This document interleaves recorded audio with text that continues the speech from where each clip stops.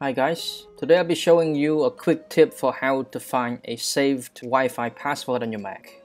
Let's say your Mac is connected to your friends or neighbors Wi-Fi and they only agree to type in the password for you without letting you know that password. Then you want the password of that Wi-Fi to share with your other devices. So which location could that Wi-Fi password be stored on your Mac? Well, the method is very simple. What you do is just click on Command Space on your keyboard and then you type in keychain access.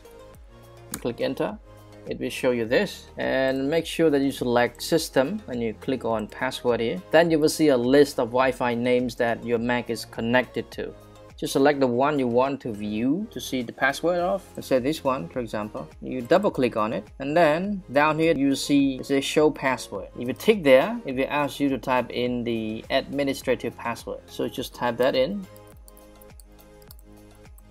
and you click OK. If it asks you to type in one more time, so make sure you remember your computer username. If you're done, you go to setting, go to users and groups, and you see the full name of your computer here. So I type that in. And you type in the administrative password one more time. Click allow and you can see the password down here okay that's it guys thank you so much for watching. This is a quick tip for how to find a saved Wi-Fi password on your Mac. If you like the video please give us a thumbs up comment down below and subscribe for more useful videos in the future. Have a great day guys. See you in the next video